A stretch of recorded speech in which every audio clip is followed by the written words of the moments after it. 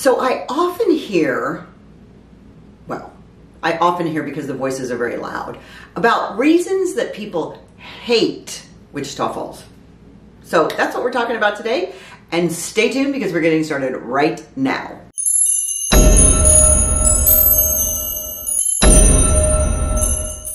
Hey y'all, welcome back. I'm Debbie Dobbins. I'm your host for this episode of Your Wichita Falls, and I want to talk about all the reasons that people absolutely hate Wichita Falls. Because at the end of the day, everything in your life, and I'm going to start to incorporate a little bit more of my own personal philosophy of life, and that is the more you hate something, the more you see it in your life, and the more you appreciate something, the more you see that in your life. And whether or not you know me as a real estate agent, or a mortgage person, or as an investor, and I just started a nonprofit, the fact is, is that everything in my life is about how do I see the good in it.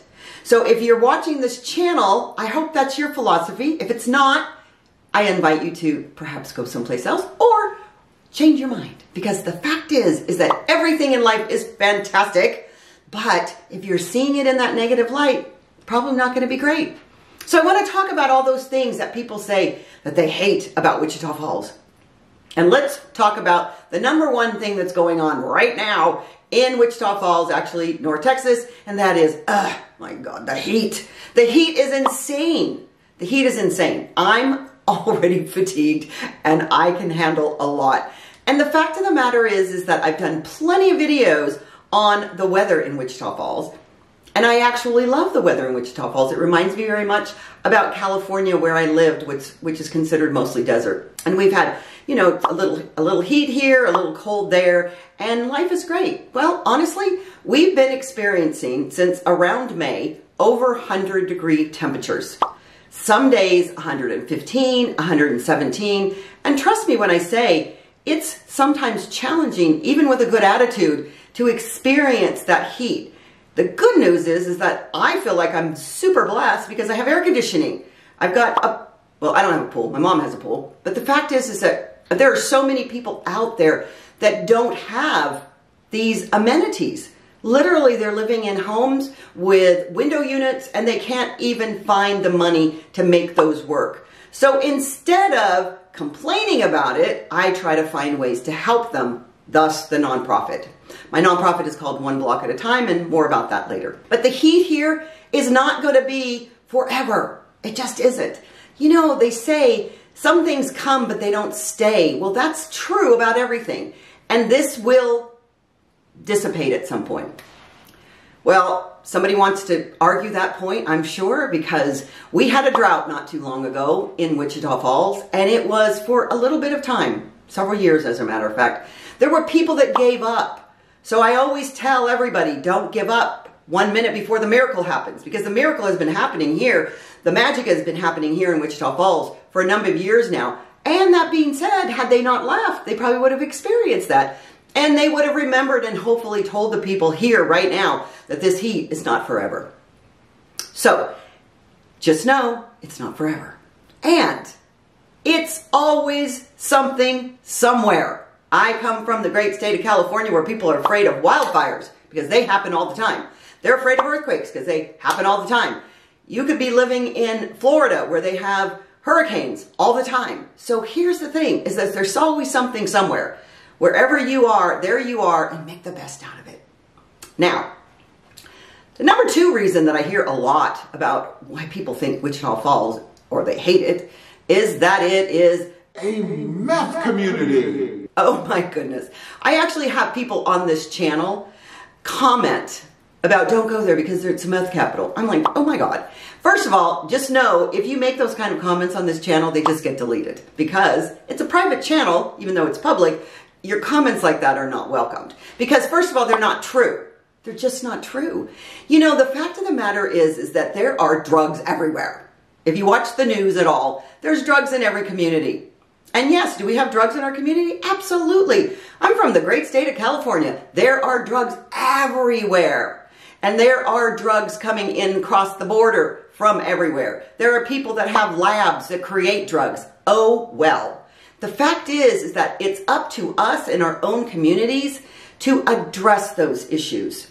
So, that being said, There is not any greater drug activity here than there is anywhere else. And that's just a fact. So you can look that up statistically. But more important than anything is, is that you, as a citizen in wherever you live, are completely at your own free will to make decisions about where you want to live, who you want to be your neighbors, and how you want to address those things.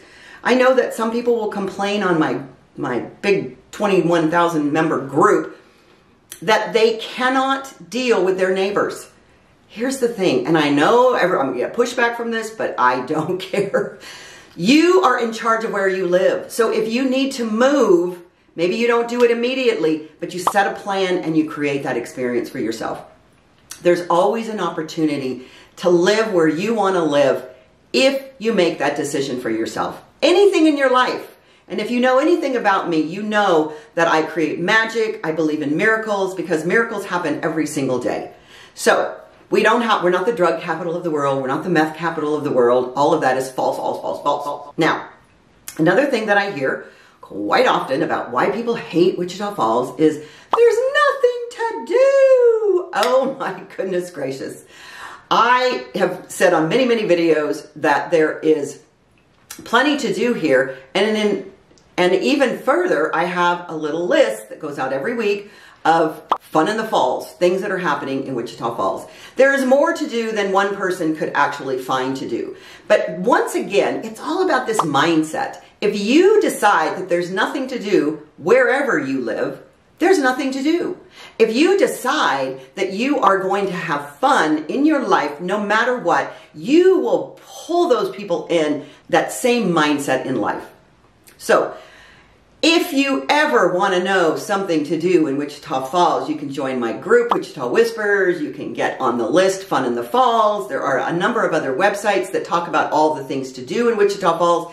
And if you are interested in much bigger events, because we don't always have the biggest events for concerts and plays and that sort of thing, although we do have two live theaters, which are absolutely fabulous. For a community this size, it's amazing to me the talent that we have in this town. That being said, it's two hours maximum to go to Oklahoma City or go to Dallas, uh, the Dallas Metroplex. And they have huge events and, and concerts and they've got a great art district. We also have a great art district. But the fact is, is that there's nothing very far away if indeed you want something that big. Now, I just want to put things into a little bit of perspective because I hate to, you know, constantly go back to being a Southern California girl, but the fact is that all the time that I ever lived there, there weren't concerts two walks from where I lived unless I lived in downtown Los Angeles, which frankly, I would never want to do. I did it, don't want to do it again. But if I wanted to go to a concert in Southern California and I lived what I preferred to call was the burbs because it's a little less congested and, and crazy, it would be two hours to get to any concert because of the traffic. So regardless of where you live, if you live in Southern California and you live in Wichita Falls, Texas, the accessibility to entertainment is basically identical. So one of the things I find fascinating about people, especially if they've lived here for a long time or their whole life, their perspective is right here. And perhaps sometimes it's important to have lived someplace else or to experience something else to appreciate how much you have here and how much you love it. Now, the other thing that I've heard complained about recently, and I find this really kind of hilarious, is we've had some road closures, some freeway closures. We had a truck drive down one of our local freeways. These freeways are very small. And um, a big piece of equipment fell off and it made a giant hole in the freeway. Giant hole. You could not drive on it. You could see the rebar through the hole. That's how bad it was, which frankly I was fascinated. I thought it must have been some sort of spaceship that did that because that was a big hole in a freeway. And the freeway was cut off and they were doing some bridge closures. So all of this was happening at the same time. Granted, there was congestion. Now, congestion for us is about five minutes. And the people came out of the woodwork on our social media to complain about the traffic and the road closures. Well, that had to be done. We wanted to maintain our streets.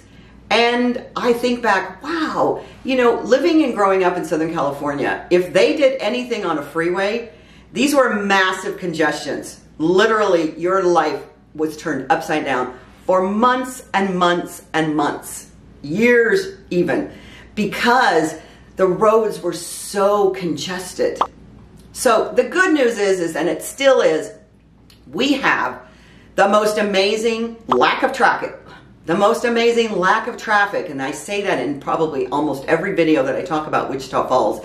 The number two things that people say about Wichita Falls that they love the most are the people and the lack of traffic. So even when things are difficult, things are always going to be difficult in life, I promise you. You're always going to have obstacles that come up in front of you. It's how you deal with those obstacles that make your life better or worse or uncomfortable or comfortable. So keeping in mind that there is just so much good here in Wichita Falls, it's unbelievable. So I could probably go on and on and on and on and on about all the lists that people actually complain about Wichita Falls because it seems to me, if you even look at social media anymore, people are complaining about everything. You know, you can complain about politics, you can complain about traffic, you can complain about weather. Oh, by the way, people do complain about polit our politics here. And whether you're complaining about politics on a national, a state, or a local level, this also applies. Become involved. If you complain about politics in any way, whose responsibility is it for you to participate and change that? It's yours. We still do have a democracy here, so it's important to know that we cannot sit around on our lounge chairs and say we're unhappy about something if we didn't do anything to change it. So once again, life is beautiful. Life is wonderful. I love Wichita Falls. You know that I do. And I love it because I've had to experience things that are so much more challenging. The challenges here are so much less than anything I've ever grown up with in my life, number one. But number two, it's so warm.